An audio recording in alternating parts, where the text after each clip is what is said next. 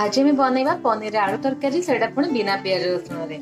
ତ ପନିର ଆଳୁ ତରକାରୀ ବନେଇବା ପାଇଁ ଏଠି ମୁଁ ନେଇଯାଇଛି ଦୁଇଶହ ଗ୍ରାମ ପନିରକୁ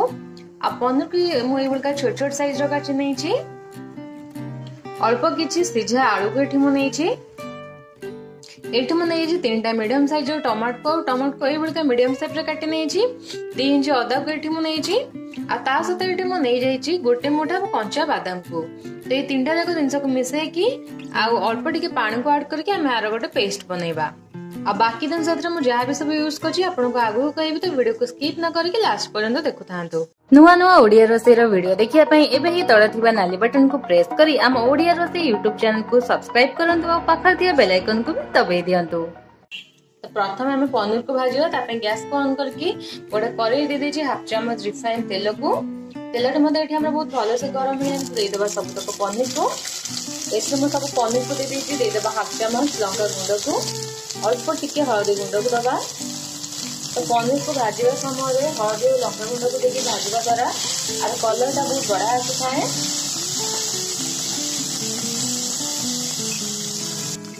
ତ ଏଠି ଆପଣମାନେ ଦେଖିପାରୁଥିବେ ପନିର କଲର୍ ପୁରା ଚେଞ୍ଜ ହେଇଯାଇଛି ପୁରା ପରଫେକ୍ଟ ଭାଜି ହେଇଛି ତ ଏଇଟା ଆମର ଏତିକି ଭାଜିବା ଦରକାର ଏବେ ଆମେ କ'ଣ କରିବା ପନିରକୁ କାଢ଼ିକି ଗୋଟେ ପ୍ଲେଟ୍ରେ ରଖିଦେବା ସେଇଠି ଆମେ ସବୁତକ ପନିରକୁ ଭାଜିକି ଗୋଟେ ପ୍ଲେଟ୍କୁ କାଢ଼ିକି ରଖିନେଇଛେ मसलार गोटे पेस्ट बनवा जो कि गोटे छोट मिक्सिंग जार नहीं टमाटो आ कि बादाम तो अल्प किसी अदा को अल्प जस्ट टे पानी को आड करके फाइन पेस्ट बनवा जो समय तरह मसला ग्राइंड हो बाकी जिन बनई ना तो ये मुझे गैस को अन करके गोटे चामच रिफाइन तेल को एवं मुझे खंडे तेजपत को छिड़े हाफ चमच जीरा को दौर खंडे डालचीन को दबा तो सब तो ये आम भलसे भाजी है गैस पूरा पूरी लोरे रखा दबा हाफ चमच काश्मीर चिली पाउडर को तो तेल पकेवा द्वारा कलर बहुत बढ़िया आसता है आते मुझे हाफ चमच लंका गुंड को आप जी राग पसंद करते से हिसाब से लंका को कम बा बेस करेंगे तो ये सब गुंड मसला को देखिए अपन हल्का भाजी नवा पेस्ट को ऐड करवा टमाटर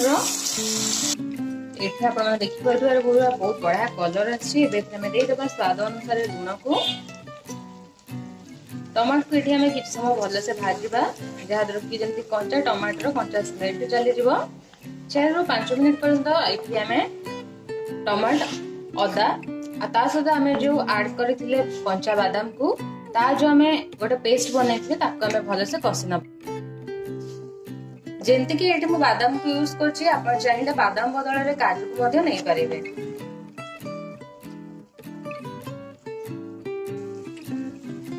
ଏଇଠି ଆମର ଟମାଟୋକୁ ଭାଜିବା ପାଖାପାଖି ହେଇଗଲାଣି ଦୁଇ ମିନିଟ୍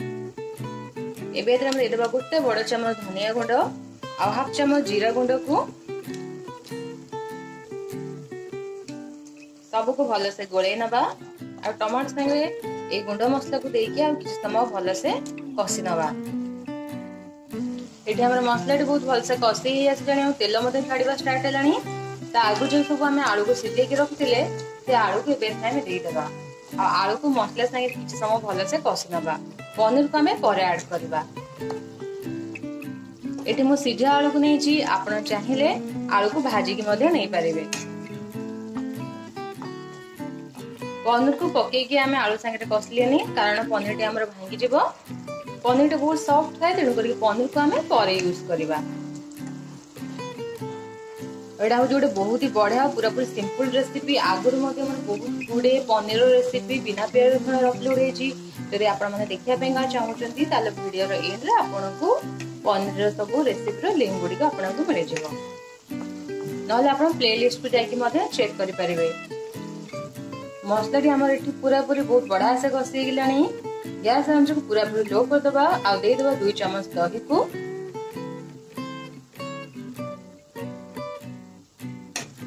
ସବୁକୁ ଭଲସେ ମିଶେଇ ନେବା ଦହିକୁ ପକେଇବା ସମୟରେ ଆପଣ ଗ୍ୟାସ୍ ଆଞ୍ଚକୁ ପୁରାପୁରି ଲୋରେ କରିବେ ତାପରେ ହିଁ ଦହିକୁ ପକେଇବେ ନା ଦହିଟି ଆମର ପୁରାପୁରି ଫାଟିଯିବ ନହେଲେ ଗ୍ୟାସ୍ ପୁରାପୁରି ଅଫ୍ କରିଦେବେ ଆଉ ସବୁ ମସଲାକୁ ପୁରା ଥଣ୍ଡା ହେବା ପାଇଁ ଦେବେ ତାପରେ ଆପଣ ଏଥିରେ ଦହିକୁ ଆଡ୍ କରିପାରିବେ ତ ଏବେ ଏଥିରେ ଆମେ ପାଣିକୁ ଦବା ଆମର ଯେତିକି ଗ୍ରେଭି ଦରକାର ଏଇଠି ମୁଁ ଟୋଟାଲ ହାଫ୍ ଗ୍ଲାସ୍ ପାଣି ଦେଇଛି ପାଣିର କ୍ୱାଣ୍ଟିଟି ଏଠି ମତେ ଟିକେ କମ୍ ଲାଗୁଛି ତ ଆଉ ଟିକେ ପାଣିକୁ ଦଉଛି ଏବେ ଆମେ ଏସବୁକୁ ଫୁଟିବା ପାଇଁକା କଭର କରିକି ଛାଡ଼ିନେବା ଚାରିରୁ ପାଞ୍ଚ ମିନିଟ୍ ପର୍ଯ୍ୟନ୍ତ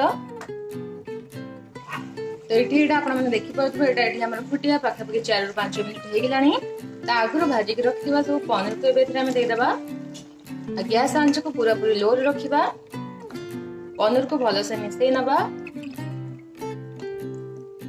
ବହୁତ ବଢିଆ କଲର ଆସିଛି ଆପଣମାନେ ଦେଖିପାରୁଥିବେ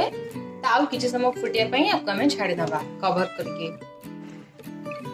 ତ ଏଇଠି ଆପଣମାନେ ଦେଖିପାରୁଥିବେ ଗ୍ରେଭିର କନସିଷ୍ଟାନ୍ସି କେତିକି ଅଛି ତ ଏଇଟା ଆମର ଏତିକି ରହିବା ଦରକାର